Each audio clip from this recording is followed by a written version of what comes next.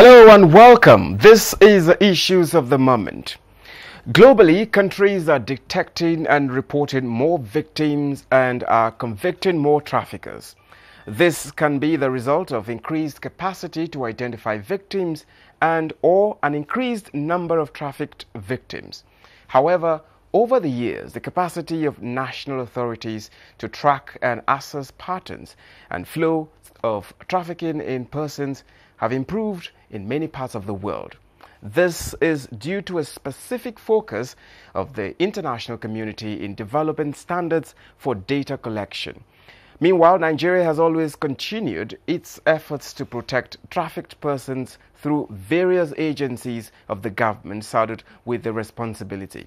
Another area through which government is tackling the menace is in legislations. Nigeria's parliament is in the process of the amendment of an act to prohibit trafficking in persons. What are expectations in the act? What are knotty issues to be amended? These and more in this edition of Issues of the Moment. My name is Justin Bem Unyi. Stay tuned to meet my guest after the break.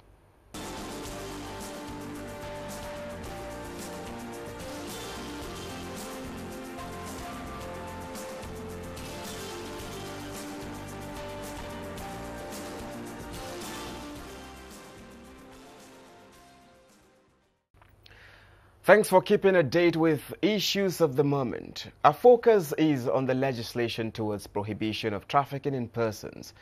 And my guest is a House of Representatives member from Akwa Ibom State and Chairman House Committee on Interparliamentary Relations, Right Honorable Samuel Ikon.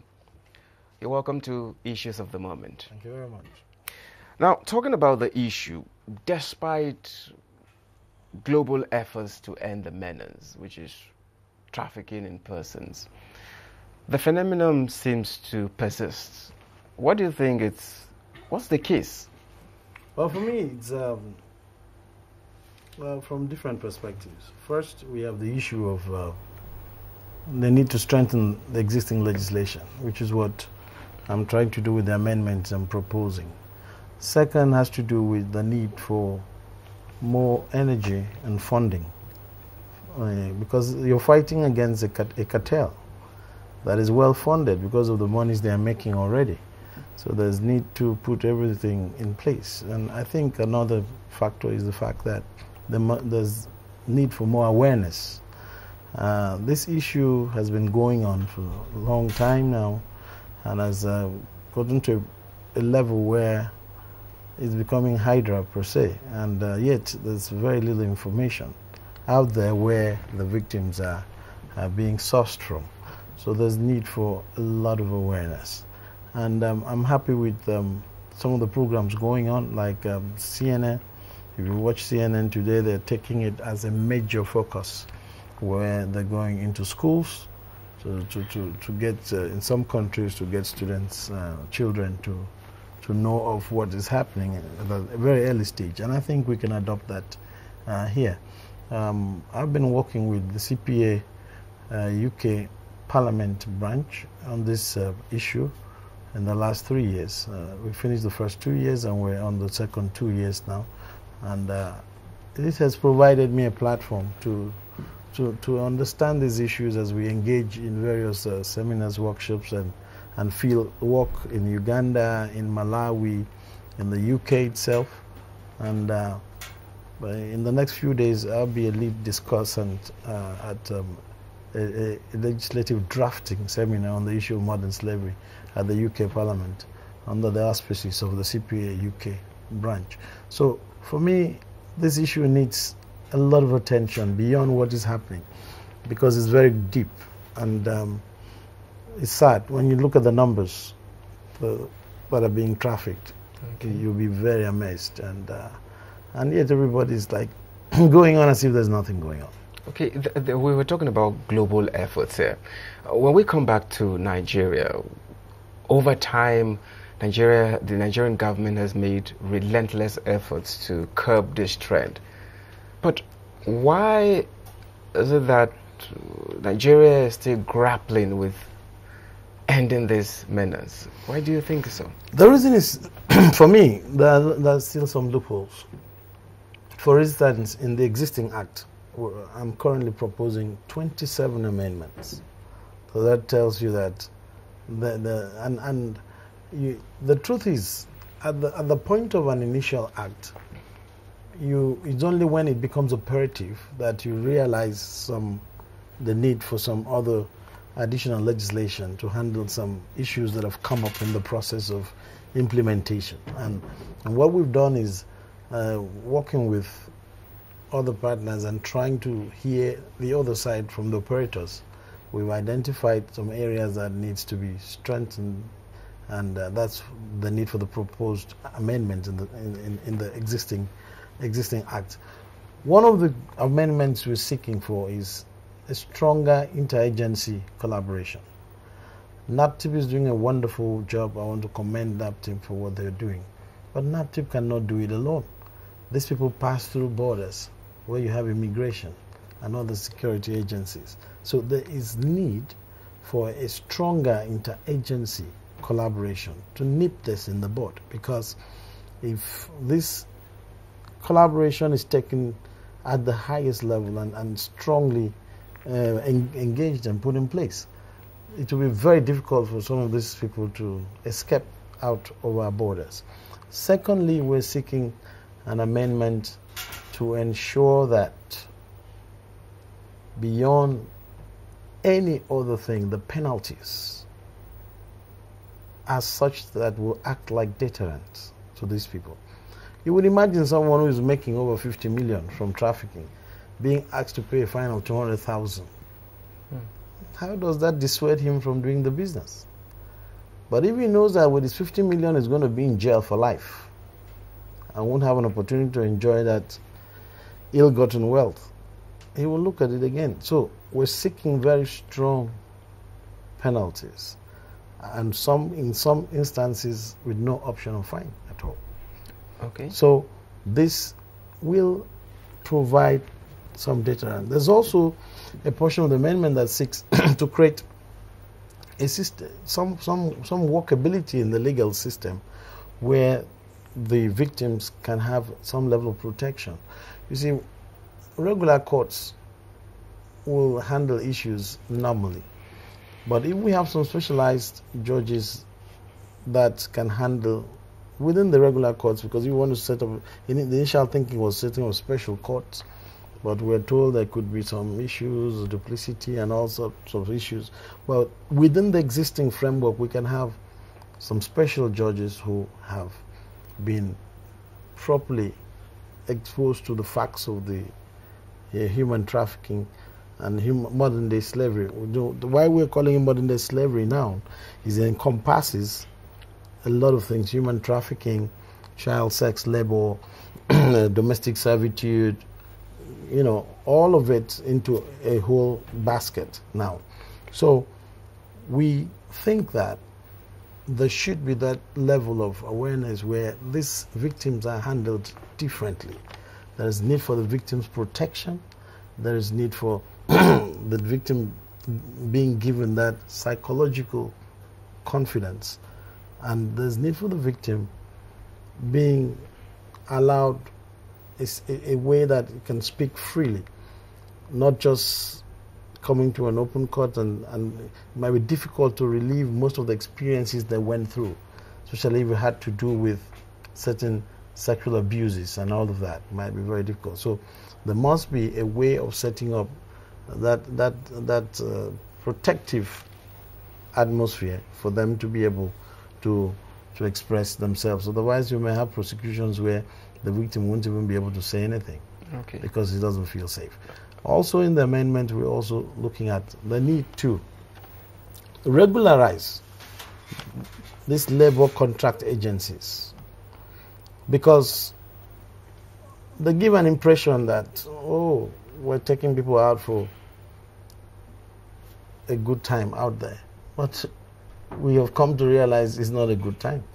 Okay. What sort of job do you have that you land in a country to work and the first thing is that your passport is seized from you? The single document you need to leave if you're uncomfortable. Okay. So that clearly tells you from the beginning that this is not a normal thing that you're coming for. Okay. We'll be coming back to to speak more on the, uh, the, the contents of the act later. But you you earlier mentioned uh, some of these agencies. Do you think these agencies like NAPTIP and uh, of course immigration and those agencies uh, responsible, do you think they're overwhelmed? No, I wouldn't think so because uh, in terms of capacity, I'm very sure they have the capacity. But we just want a situation where there is some more seriousness and there's a legal framework. You know, there's something that you can do because you're just supposed to do, but when something becomes law, you know that you are constrained by law to do it. So I think they have the capacity. I believe they have it, but I, the, the, the, the legal framework will allow for enforcement. It now becomes um, enforceable that you have to do it. For instance, we have discussed the issue when we say intelligence collaboration, even the EFCC has to be involved because it becomes a financial crime. People are profiting, profiting from uh, a crime here. And um, it's important that they can move in, identify these people, and be able to access their accounts and, and, and block those accounts. Once the traffickers feel the heat and know that Nigeria is no more good, a good place for business, we're going to have some peace. Now, just recently, Nigeria went through a lot to rescue thousands of girls from Mali. What do you make of this? The question I ask is how did they leave? They left from, through the borders. And that is what we're discussing here. The need to cop this movement, the need to checkmate this ab initio, not to go and recover them when they are already in a mess. They didn't, they didn't just appear there. They left through the borders. Hmm. So there's a need to allow NAPTIP to be at the borders. I know that there are issues of ease of doing business and all of those things, but we have a menace here. So we must find a way around it to ensure that the people who are supposed to cop these are at the borders, working with the immigration, working with the security agencies. And they also, this also leads to the issue of capacity building. The capacities must be built in a manner with training and retraining. They can identify traffic persons very easily. That is why uh, in a certain advanced climes, you're on a line. You see two, three people being taken out of a line quietly. Okay. Because so they, they can identify that there's something abnormal about this, this person.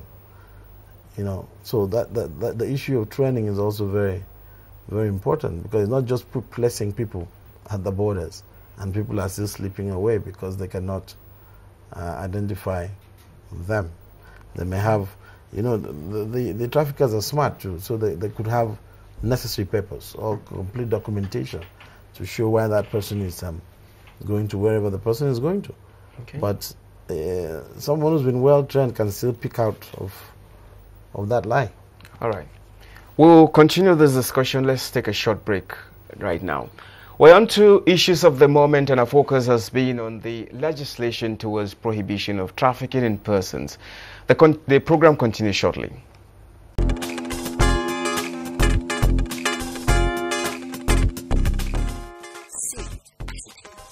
We always believe in going to mosques and going to church without looking at the nitty gritty of even the family value. If I am the president of the country or the, the Senate, we will publish every state what they collected. And in the next six months, we'll go to the state to say, if nothing has happened in this state, hold your governor to ransom. Without that bill in place, no scientist in Nigeria is allowed to practice.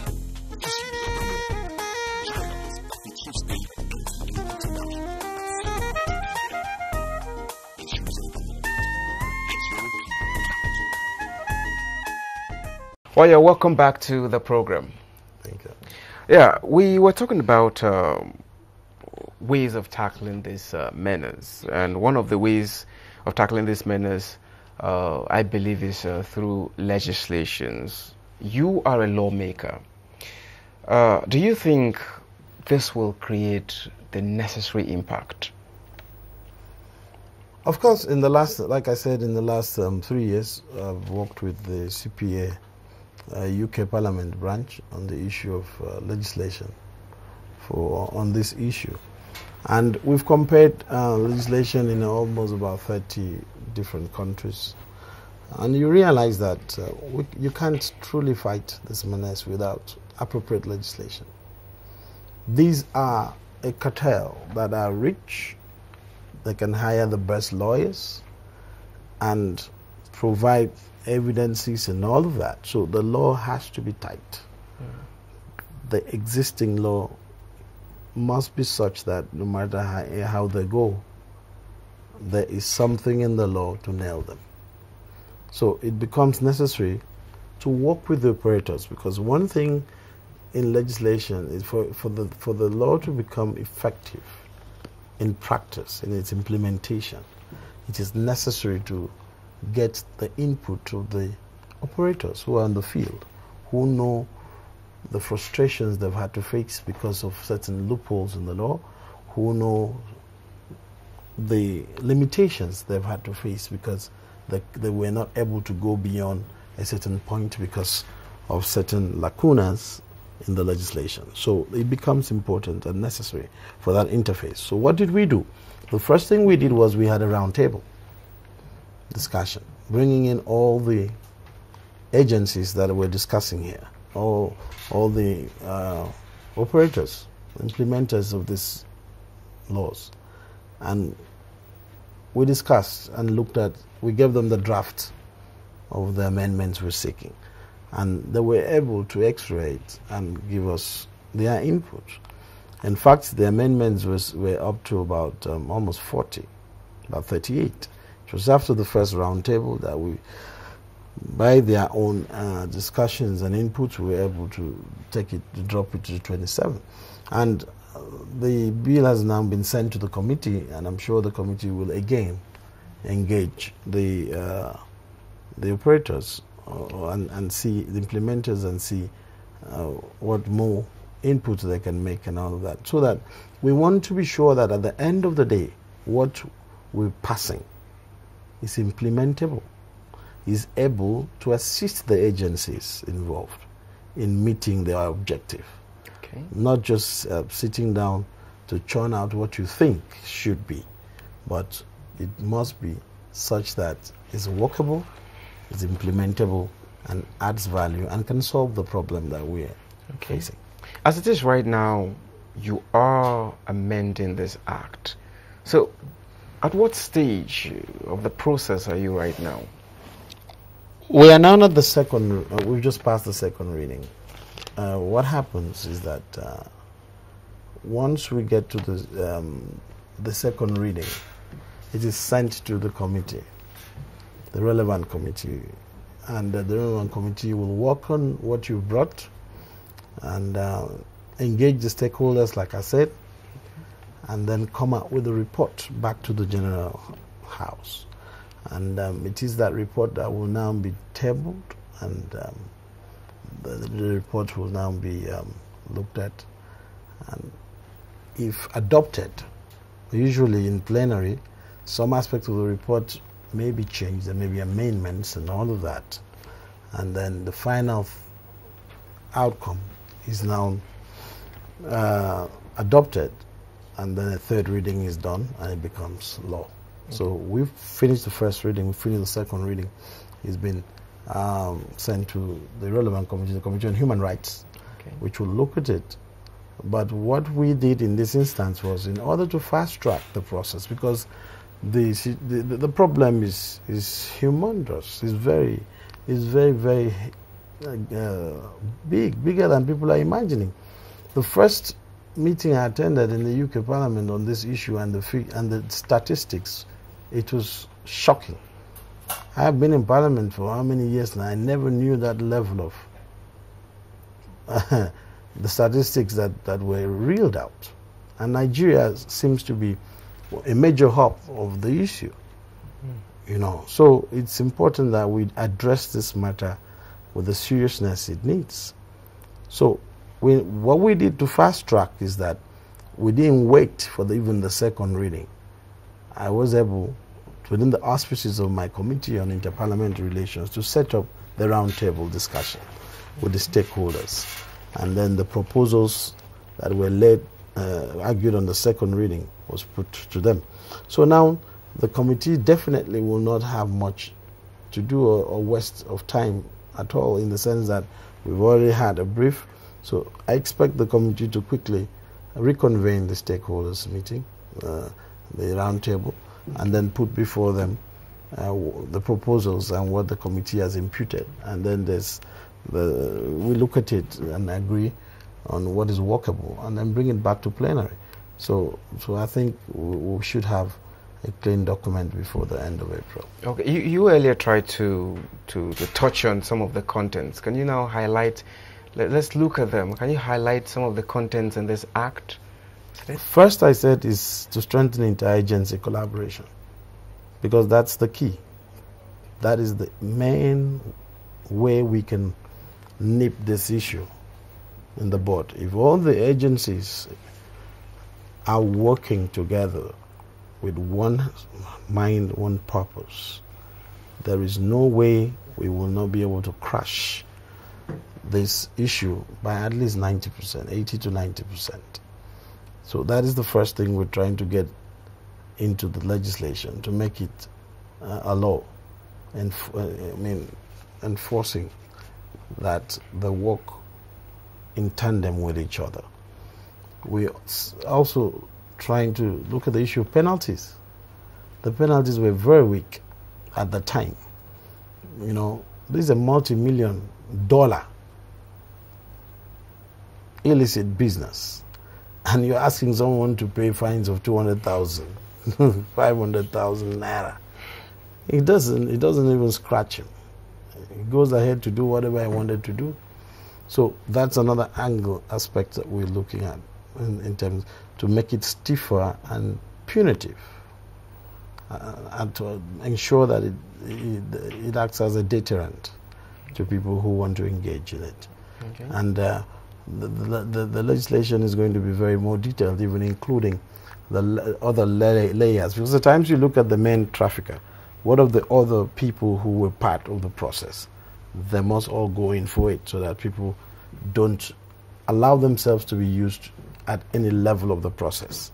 The other aspect we're also looking at is the issue of uh, ensuring that these labor contractors are regulated, properly regulated, and monitored okay. by these uh, interagencies we're talking about to ensure that what they're doing does not in any manner or way have a trace of human of, of uh, modern day slavery. In fact, I can tell you that in climes like in climes like the US and the UK, I think even in France, it's gone to a point where even the raw materials, for instance, the coffee they import from Africa, the cocoa, and all of that, the, the supply chain is monitored to ensure that there was no case of slavery where people use underage children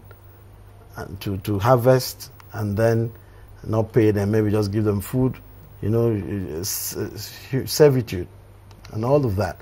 It is monitored to that extent that they dare not buy even a, a grain of such mm. product. The supply chain is monitored. Mm. So we can, we can replicate some of these things here. It's just to ensure that the, the legislation covers some of those areas. For instance, in a, in a factories and all of this, are you using underage children? Okay. Are you are you are you playing with people by paying them peanuts and giving them hours and hours of work to do?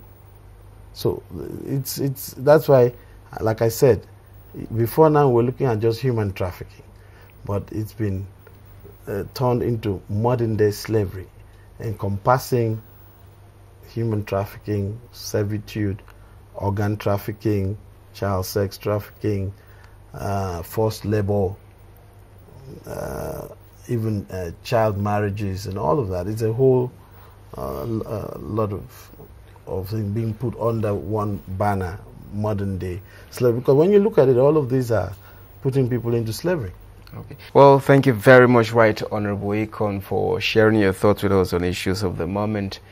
And we do hope um, some other time when we need you, you're going to come. Anytime, because uh, we've even gone further to um, have an NGO on the side now that um, is specifically targeted to this because um, okay. for me it's become a passion and uh, whether uh, in the parliament or not, it's a fight that must continue. And uh, the exposure I have had working with the CPA UK Parliament around uh, most of these countries and the information available in terms of the seminars and the workshops we've done must be positively used to, to, to help the situation uh, here in my country. So it's, it's something that I will continue to work on. We must take this message to the schools. We must take this message to all the state houses of assembly. We must take this message to every nook and cranny that needs to join in this battle. Well, thank you very much for your time with us. Thank you. Thank you very much. Well, and that is where we ended on the program Issues of the Moment. My name is Justin Bem Unyi. Thank you very much for your time with us.